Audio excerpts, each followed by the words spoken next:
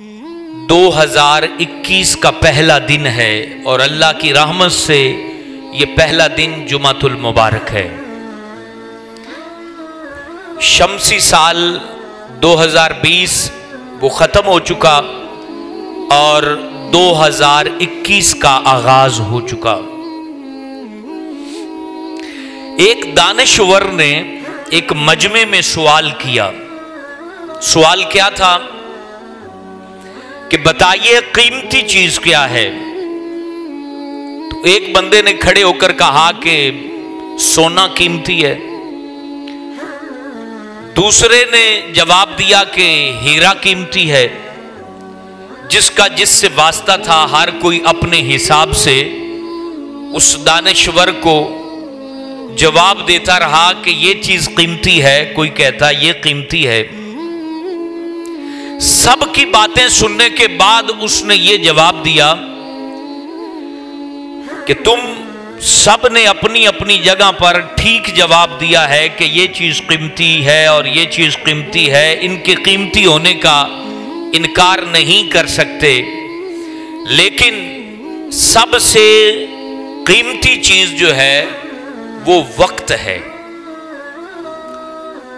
पूछा गया कि वक्त किसी हिसाब से आप उसकी कीमत के बारे में फरमा रहे हैं। कहा कि अगर आपके पास वक्त है तो आप हर चीज़ हासिल कर सकते हैं।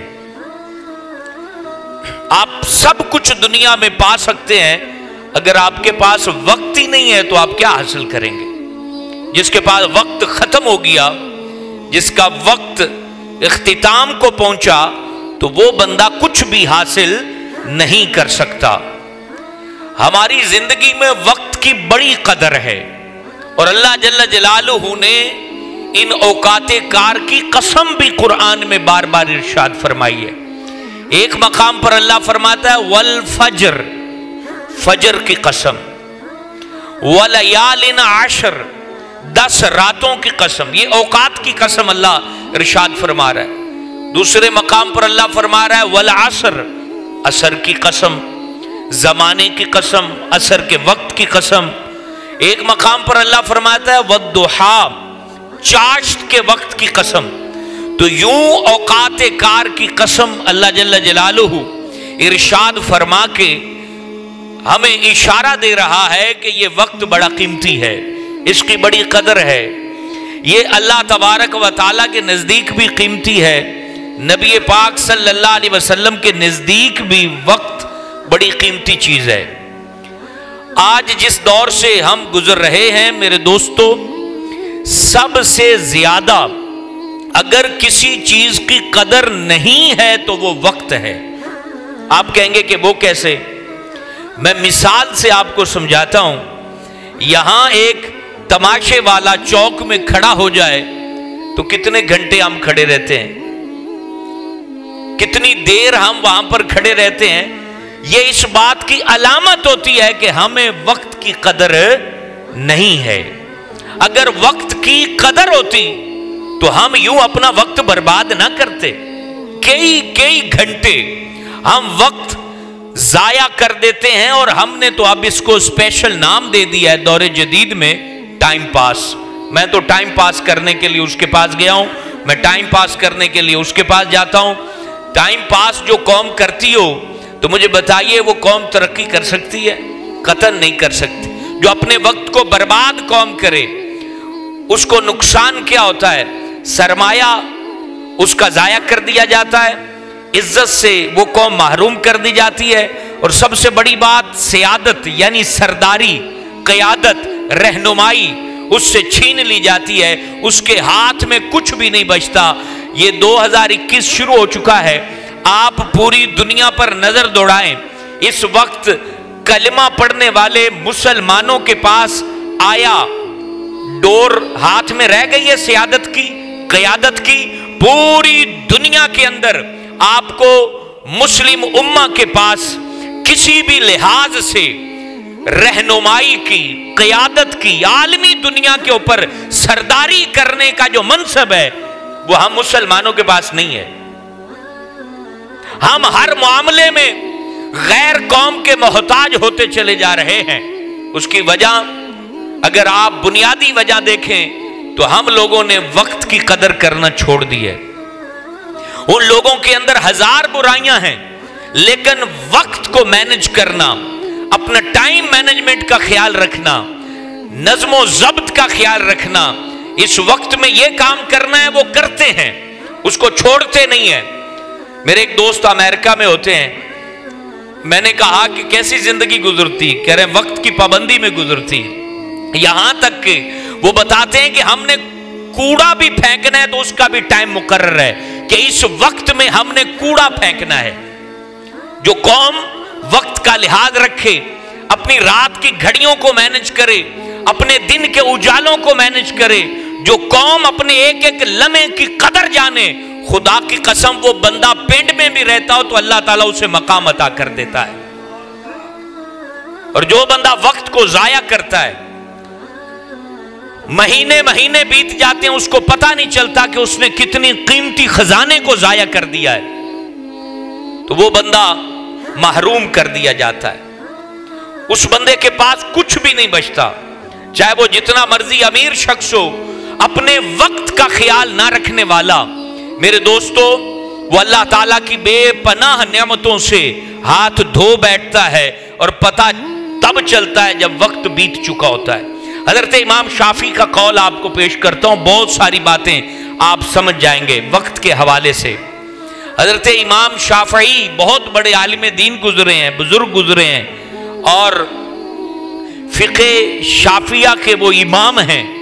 आप फरमाते हैं कि मैंने जब ये कौल पढ़ा तो मुझे बहुत बड़ा इसलाह का खजाना मिला। वो कौल क्या था? कि वक्त एक तलवार की तरह है। अगर तुमने उसको थाम लिया तो तुम इससे बड़े बड़े मसायब को काट दोगे। और अगर इसको ना थामा तो ये वक्त की तलवार तुम्हें काट देगी। ये कितनी बड़ी बात है।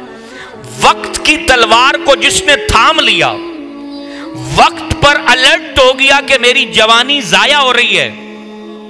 मेरा कीमती सरमाया जाया हो रहा है।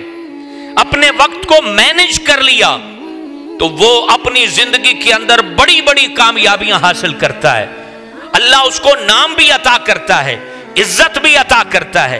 मकाम भी अता करता है, शोहरत भी अता करता है, सरमाया भी अता करता है और तिजारत में तरक्की भी अता करता है। और जो बंदा, इमाम शाफी की बात और आपका ये रिवायत करदा कौल, कितना कीमती है कि जो वक्त पर तवज्जो नहीं देता तो ये वक्त की तलवार उसे काट के रख देती है। उसकी शोहरत को, उसके मनसब को, उसके इज़्ज़त को उसके मकाम को, उसके सरमाया को, उसकी तिजारत को ये वक्त की तलवार काट के रख देती है। और ऐसे नज़ारे हम देखते हैं। बड़े बड़े कामयाब ताजर, जिन्होंने वक्त की कदर नहीं की और सोते गुजार दी और अपने नौकरों पर सब कुछ छोड़ दिया। आप देखते नहीं है कि उजड़ के रह जाते हैं। और फिर कहते हैं, यार, मुझे वो खा गया, मुझे वो खा गया, मुझे उसने खा लिया। जब वो खा रहे थे, तुम कहाँ थे? जब वो तेरी तिजारत को लूट रहे थे, तुम सो रहे थे? जब तेरा खसारा हो रहा था, तेरी अकल महवे ख्वाब थी और तुम्हें पता नहीं था कि मैं लुट रहा हूँ, खसारे में जा रहा हूँ, यही बात है।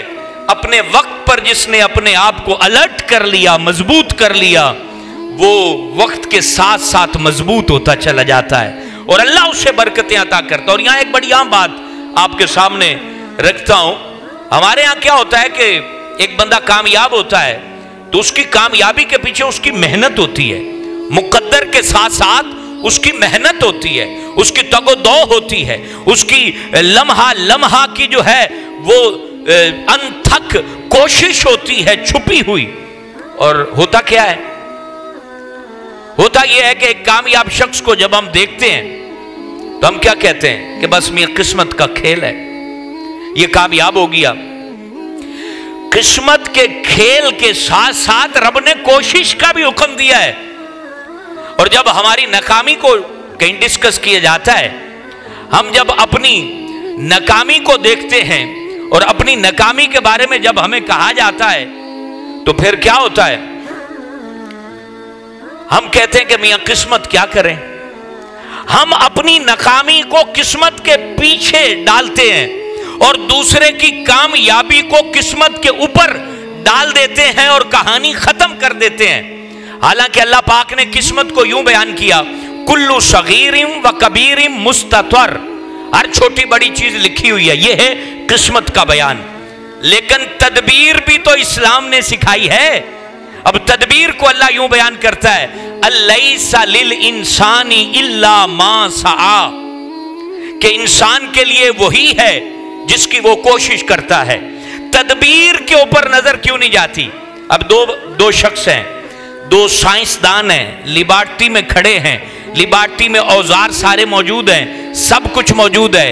एक साइंसदान अपने तजर्बे को जारी रखता है दूसरे के सामने लिबार्टी मौजूद है, वो सोया रहता है, गफलत में पड़ा रहता है, और उसके बाद कामयाब ये कोशिश करने वाला हो जाता है।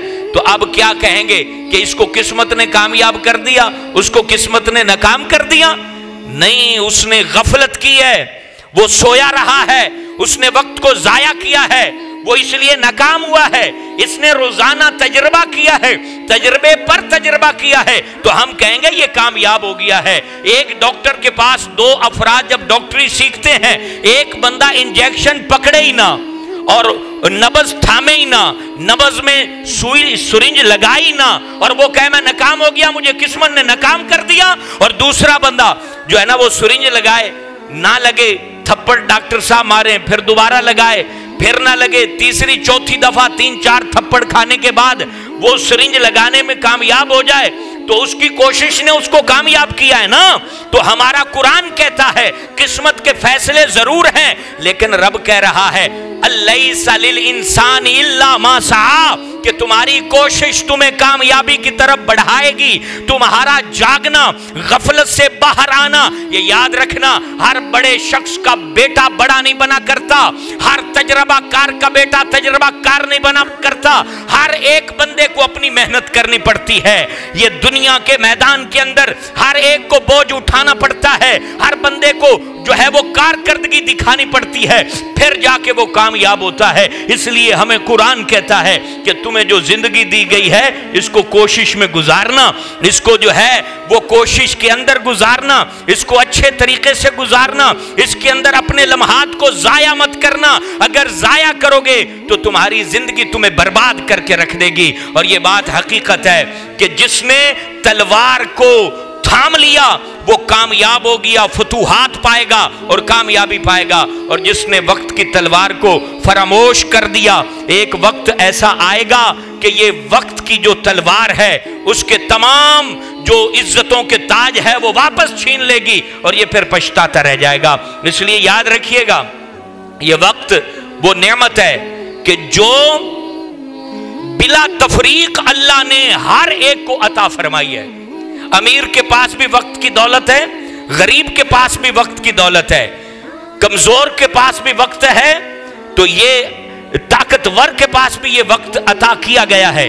अब जिस बंदे ने इस नेमत का इस्तेमाल ठीक तरीके से किया है तो वो रेगिस्तानों में गुलजार उगा सकता है, वो पहाड़ों के ऊपर अपनी मसनद लगा सकता है, वो इज्जतों के ताज पहन सकता है। और जिस बंदे ने भी इस नेमत की कदर नहीं की तो वो नाकामी को बर्दाश्त करे, फिर नाकामी उसका मुकद्दर बनेगी, ये बात हकीकत है। हम अपने प्यारे नबी हज़रत मोहम्मद रसूलुल्लाह सल्लल्लाहु अलैहि वसल्लम की ज़िंदगी का मुताला करें, जिनकी ज़िंदगी सबसे कामयाब ज़िंदगी है। आपकी ज़िंदगी का मुताला करें तो आपको वाजे तौर पर नज़र आएगा कि वक्त की मैनेजमेंट जब हमारे रसूल पाक कर रहे हैं। हमारे प्यारे नबी सलाम की खिदमत में तो फरिश्ते भी हाजिर रहते थे। बल्कि आज भी सत्तर हज़ार सुबह आते हैं, जो हजूर नबी पाक की बारगाह में दरूद पढ़ते रहते हैं, और वो शाम को जाते हैं, सत्तर हज़ार नए आ जाते हैं। जिनकी खिदमत में फरिश्ते हमा वक्त हाथ बाँध के खड़े रहें, उनके वक्त की मैनेजमेंट मुलाजा करें। नबी पाक ने अपनी रात के तीन हिस्से किए हुए थे। रात का पहला हिस्सा आप अपनी फैमिली को देते थे। रात का दो एक हिस्सा आप सोने में गुजारते थे, नींद किया करते थे। और रात का तीसरा हिस्सा नबी पाक नमाज़ तहजुद पढ़ने में गुजारा करते थे। वक्त की मैनेजमेंट देखे। अल्लाह का रसूल अपने औकात को किस तरह तकसीम फरमा रहा है। और हम हैं कि जनाब, बस ये जल्दी जल्दी वक्त गुजर जाए और वक्त जाया करने के ऊपर हम तुले हुए हैं। नबी पाक के दिन के औकात भी तकसीम थे।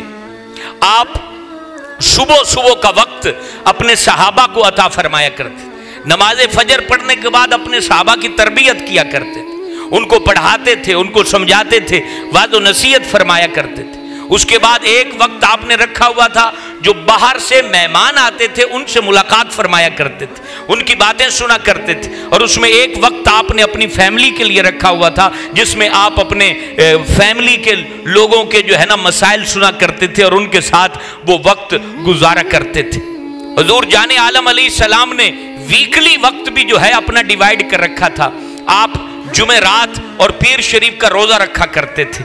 नबी पाक सल्लल्लाहु अलैहि वसल्लम इसी तरह जो है वो सफ़र के औकात आपने मुकर्र फरमाए हुए थे कि इस दिन हमने सफ़र करना है। और उसके अंदर भी आपने जो है वो सबको ये ज़िम्मेदारी दी हुई थी कि इस सफ़र में मेरे साथ ऐशा सदीका जाएँगे और इस सफ़र में फुला जो है वो मेरी जोजा जाएँगी। इस तरीके से हजूर अली इस्लाम ने अपने वक्त को जो है वो मैनेज कर रखा था। नबी पाक सल्लल्लाहु अलैहि वसल्लम की ज़िंदगी का एक लम्हा क्या हजूर की जबान से निकलने वाला एक लफ्ज भी बेमाना नहीं हुआ करता था कि जिसका कोई माना ना हो। हमारे प्यारे आका मौला हज़रत मोहम्मद रसूलुल्लाह सल्लल्लाहु अलैहि वसल्लम ने इस तरह ही ज़िंदगी जीना सिखाई है और आज हम ज़िंदगी यूँ जीते हैं कि ज़िंदगी का कोई मकसद ही नहीं होता।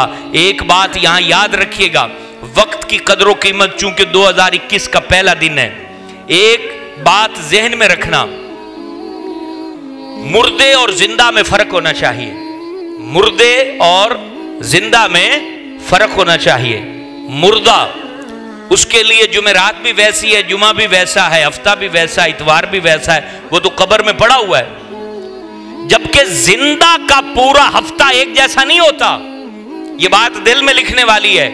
मुर्दा के लिए अब क्यामत तक का वक्त एक जैसा है। सुबह हो, शाम हो, मुर्दे को इससे क्या गर्ज है? लेकिन जो ज़मीन के ऊपर ज़िंदा हैं, जिनके दिल की धड़कने जारी हैं, जिनको अल्लाह जल्ला जलालू ने रूह और बदन का मिलाप अदा कर रखा है, जिनको अल्लाह तबारक वाली ने सांस की माला अता कर रखी है, अभी ये टूटी नहीं है। उनके सातों दिन एक जैसे नहीं होते, बल्कि फरमाया कि हर दिन उसकी ज़िंदगी में तरक्की का दिन होना चाहिए। हर हर दिन उसको तरक्की करनी चाहिए। अमल में तरक्की करनी चाहिए, इलम में तरक्की करनी चाहिए, दुनिया में तरक्की करनी चाहिए, बिज़नेस में तरक्की करनी चाहिए, इबादत में तरक्की करनी चाहिए, रियाजत में तरक्की करनी चाहिए, फिर तो वो ज़िंदा कहलाने का हकदार है। अब जिस बंदे के ज़िंदगी में हफ़्ता भी वैसा हो मुर्दों जैसा, इतबार भी वैसा हो मुर्दों जैसा, सोमवार भी उसका जो है ना वो रोते गुजर जाए, मंगल भी रोते गुजर जाए, बुध भी रोते गुजर जाए, और पूछा जाए कि करते क्या हो? सोता हूँ जी। दिन भी सोता हूँ, रात भी सोता हूँ, कोशिश कुछ नहीं। अब इसको मैं और भी जरा मजीद वजाहत के साथ ये बात समझाना चाहता हूँ। जिंदों की ज़िंदगी कैसी होती अब एक बंदा है, वो पचास एकड़ ज़मीन काश्त करता है। अब उसने काश्त कर लिया, बीज लगा दिया, पानी लगा दिया। अब उसके बाद वो देखे कि मैंने बीज भी लगा दिया है पानी भी लगा दिया है, खाद अब मैंने महीने बाद देनी है तो बीच में जो छह दिन है मैं क्या करूँगा? उसको सोचना चाहिए या नहीं सोचना चाहिए? अब वो छह दिन कुछ और करे जो कर सकता है। बिज़नेस में कुछ और कर ले, सफ़र के ज़रिए से वो अपना वक्त सेव कर सकता है तो वो छह दिन किसान को चाहिए, वो सेव करे। अब हमने खाद लगा ली और उसके बाद हमने गप्पे लगानी है। उसके बाद हमने होटलों पे आके अपना वक्त बर्बाद करना है। हमने अपने दोस्तों के यहाँ जाके वक्त बर्बाद करना है।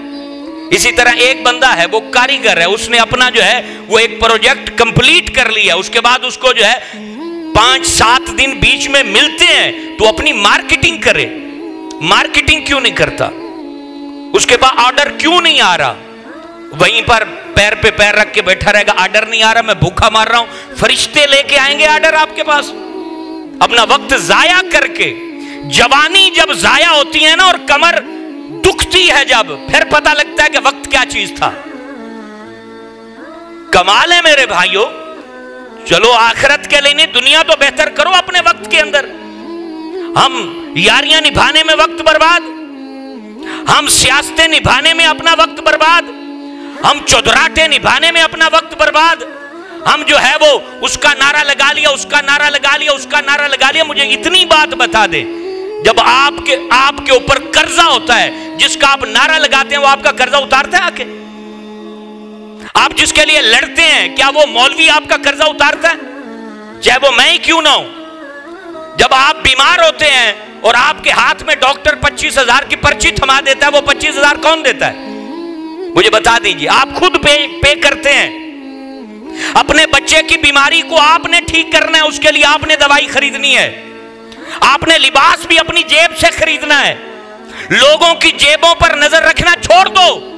और ये बात याद रख लो, जो दूसरे की जेब में रकम है, वो आपकी नहीं है।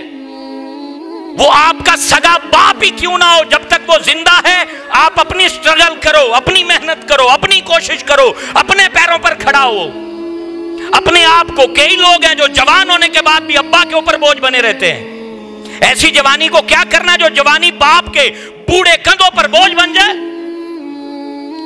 जवान होने के बाद अब्बे का बोझ उठाना है, ना कि मेरा बोझ मेरा अब्बा उठाए। और ऐसे बहुत सारे लोग हैं। अब्बा मुझे दो हज़ार दे दो, अब्बा मुझे पाँच हज़ार दे दो। अब्बा बूढ़ा हो गया, उसकी दाढ़ी सफ़ेद होगी क्या अब भी वो तेरे जवानी के बोझ को भी उठाने के लिए मजबूर है? तो उसकी वजह क्या है? उसकी वजह वक्त का जिया है। हमने वक्त को इस्तेमाल करना नहीं सीखा। हम अगर दुकानदारी करते हैं तो हम मार्केटिंग नहीं करते। हम अगर जरात करते हैं तो जरात के अंदर हम मेहनत नहीं करते। हम अगर कारीगर हैं तो हम अपने प्रोजेक्ट नए से नए लाने के लिए हमारी तवज्जो नहीं है। हमारी तवज्जो है कि जनाब, हमारी कमाई अगर तीस हज़ार की है तो पच्चीस हज़ार का मोबाइल हमने रखना है। हमारे पास अगर आठ घंटे काम करने के हैं तो आठ घंटे का मतलब आठ घंटे होता है। मुझे अगर यहाँ हम किसी से भी पूछ लें क्या आठ घंटे आप काम करते हैं? तो उसको कापी पकड़ा दें। आठ घंटे के अंदर उसने पाँच घंटे ज़रूर मोबाइल इस्तेमाल किया होगा। तीन घंटे उसने अपना काम किया होगा। मुझे बताइए, जो आठ घंटे प्रॉपर काम का वक्त है, जो शख्स अपने आठ घंटे को काम के लिए नहीं दे सकता तो फिर तरक्की किस बात की वो इंतज़ार कर रहा है?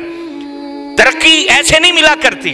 तरक्की अपने वक्त के ऊपर कंप्रोमाइज नहीं करना कि मेरा ये वक्त तू ले जा, मेरा ये वक्त तू ले जा। एक बुज़ुर्ग के बारे में आता है। उनसे पूछा गया कि आपको सबसे ज़्यादा मुश्किल कब लगती है? वो फरमाते हैं, मुझे सबसे ज़्यादा औखा मेरी तबीयत पे वो वक्त होता है जब कोई बंदा मेरे पास आके बैठ जाए और उठने का नाम न ले। मेरा वक्त जाया कर रहा हो तो मुझे वो चीज़ बुरी लगती है। हज़रत अब्दुल्ला इब्ने मसूद की बात सुनिए। हुजूर जाने जाना अली सलाम के साहबी हैं। और नबी पाक के नालैन उठाने वाले साहबी हैं। हज़रत अब्दुल्ला इब्ने मसूद जिन्होंने कूफा के अंदर इल्म दीन को फैलाया था। और उन्हीं के शगिर्दों के शगिर्द हज़रत इमाम आज़म अबू हनीफा अलैहि है। ये अब्दुल्ला इब्ने मसूद फरमाते हैं, मुझे वो शख्स इंतहाई नापसंद है, जो फारग हो, ना दुनिया का काम जिसे हो, ना दीन का काम जिसे हो, कहते हैं कि मुझे वो बंदा बिल्कुल पसंद नहीं है। और हमें तो वेला बंदा पसंद है। हमें तो गप्पे हाँकने वाला पसंद है। जो, वो फुजैल बिन अयाज की मुझे बात याद आ गई। आप क्या फरमाते हैं हज़रत फुजैल बिन अयाज? आप काबा मुशरफा के सामने बैठे हुए थे। काबा मुशरफा के सामने बैठे थे मक्का पाक में। तो एक बंदा करीब आके बैठ गया। तो आपने उसकी तरफ़ तवज्जो की और कहा कि, भाई क्यों? मेरे करीब क्या लेने आया है? कहा कि, मैं ज़रा कंपनी लेने आया हूँ, गपशप लगाने आया हूँ। कि थोड़ा आपसे बातचीत करूँ। तो हज़रत फुजैल बिन अयाज फरमाते हैं मतलब मैं तेरे लिए झूठ बोलूँ, तू मेरे लिए झूठ बोले। होता यही है ना कि जब इकट्ठे बेली बहते हैं तो वो उसको झूठी तारीफ़ कर रहा होता है, वो उसकी झूठी तारीफ़ कर रहा होता है। जब उठ के चले जाते हैं तो फिर पोल खोलना शुरू कर देते हैं। तो कहा कि मैं तेरे लिए झूठ बोलूँ, तू मेरे लिए झूठ बोले, इसलिए मेहरबानी, यहाँ से उठ के चला जा, मुझे भी अल्लाह की याद करने दे और खुद भी अल्लाह की याद में लग जा। अपने वक्त को दुनियावी तौर पे जाया करना और दीनी लिहाज से जाया करना, ये उम्मत मुस्लिमा का माजरत के साथ मशगला बन चुका है चाहे वो मौलवी हो या मौलवी ना हो।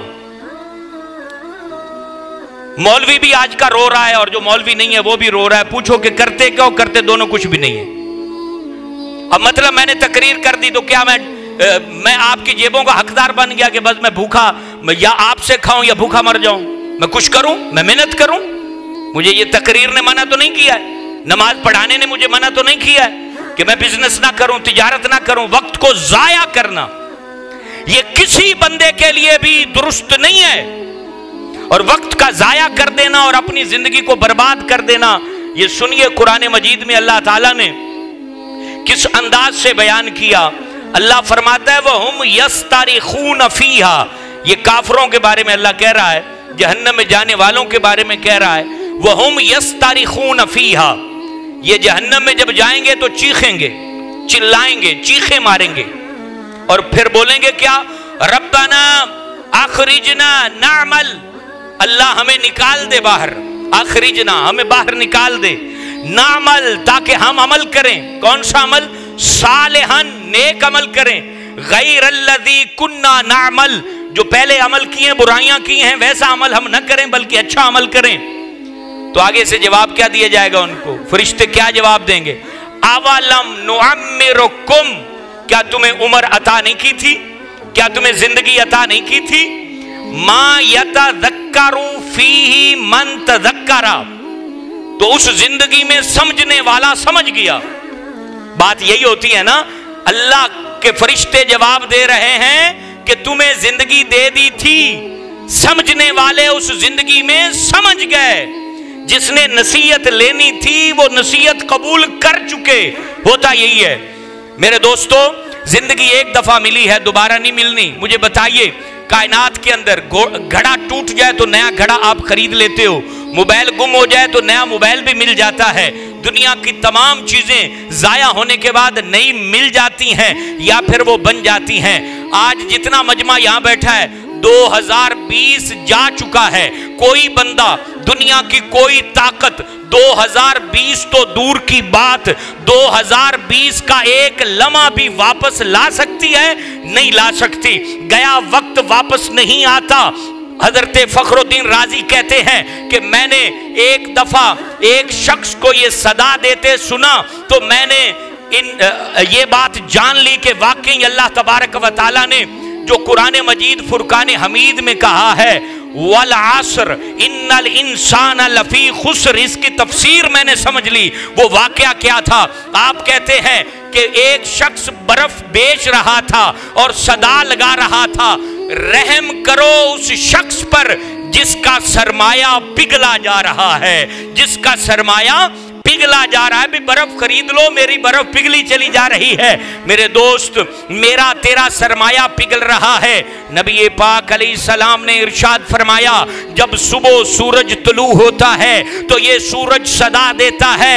ए बनी आदम, अगर कोई अच्छा अमल करना है तो कर ले। मैं आज आया हूँ दोबारा न आऊँगा, मैं दोबारा तुलू नहीं होऊँगा। अगले दिन का सूरज नया होगा, नया साल होगा, नया महीना होगा, नया दिन होगा। मेरे दोस्त, ये वक्त यूँ ही बीतता चला जा रहा है। ज़िंदगी की साँसें जो हमें अदा की गई हैं, वो टक टक टक गिनते चले जा रहे हैं फरिश्ते। और जितनी तादाद में अल्लाह ने सांस दी है, जब वो तादाद पूरी हो जाएगी, वक्त कंप्लीट हो जाएगा तो उसके बाद ये ज़िंदगी दोबारा नहीं मिलेगी। और अल्लाह कह चुका है, ज़िंदगी हमने तुम्हें दी थी, समझने वाले समझ गए। नजीर, और तुम्हारे पास डर सुनाने वाला भी भेजा। मोहम्मद अरबी की सूरत में तुम में नबी भी आया, तुम्हें कुरान अता किया गया। फरमाने रसूल अता किए गए, और एक बेहतरीन ज़िंदगी अता की गई और तुमने उसके अंदर कुछ भी ना किया तो अब अंजाम क्या है? अल्लाह के फरिश्ते कहेंगे, फजूकू, अब चखो, अब ये चीज़ चखो, जो अजाब दिया जा रहा है, इसको चखो। फमालिमीन मिन नसीर तो जालिमों के लिए कोई मददगार नहीं है। काबिल सद एहतराम, दोस्तों, नए साल की आमद पर अल्लाह का शुक्र अदा करते हैं। 2020 में कई हमारे जानने वाले दुनिया छोड़ के चले गए, कई हमारे रिश्तेदार दुनिया छोड़ के चले गए। रब ने एक मौका और दिया, नया साल हमारी ज़िंदगी में तुलू होने की।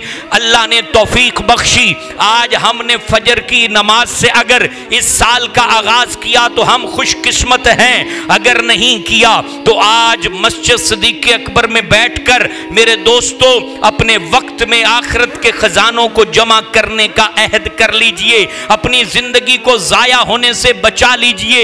ये सख्त जून के महीने में पड़ा हुआ बर्फ़ का बलाक है। जिसको पिघलना ही है, जिसको मिटना ही है, जिसको खत्म होना ही है, ज़िंदगी अता की गई है। खत्म होने के लिए ज़िंदगी का दरवाज़ा जिसने अबूर किया है, उसने मौत के दरवाजे से भी गुजरना है। जिसने जामे हयात पिया है, उसको जो है वो जामे मौत भी नोश करना है। जिसको ज़िंदगी के लम्हे अता किए गए हैं तो ये जाया करने के लिए ये लम्हे अता नहीं किए गए। याद रखिए।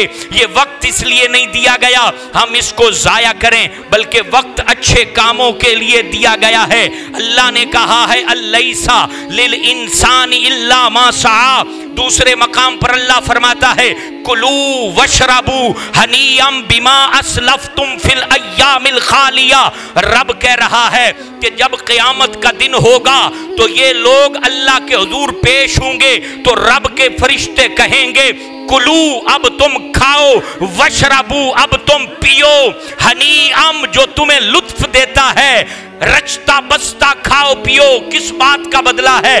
बीमा असलफ तुम फिल अयामिल खालिया, जो ज़िंदगी के अयाम में तुमने कमाया था, उसका बदला है। याद रखना, कुरान कह रहा है, लहा माँ कसबत हर जान के लिए वही है जो उसने कमा लिया, जो सजदे कमा लिए, जो तिलावत कमा ली, जो रियाजत कमा ली, जो इबादत कमा ली, जो खौफ खुदा के आँसू बहा के अल्लाह की रिजा कमा ली। ये हर जान के लिए है। वह अलैहा मकतसबत ये रब कह रहा है, हर जान के ऊपर उसका नुकसान है, जो उसने कमाया है। बदकारी का नुकसान हर बंदे को खुद भुगतना है, और वक्त को जाया करने का नुकसान हर शख्स को खुद भुगतना है। अपनी ज़िंदगी में बेहयाई में मुलवस होने का नुकसान हर शख्स को खुद भुगतना है, और हर बंदा भुगत के ही मरता है। माँ बाप को तड़पाने का नुकसान हर शख्स को खुद उठाना है।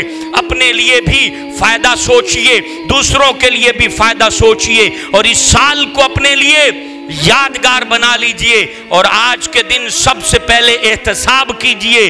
हज़रत अब्दुल्ला इबन उमर, अब्दुल्ला इबन अब्बास, हज़रत उमर फरूक आज़म के बारे में ये बातें मौजूद हैं कि वो रोज़ाना अपने वक्त पर एहतसाब करते थे कि आज तूने क्या किया?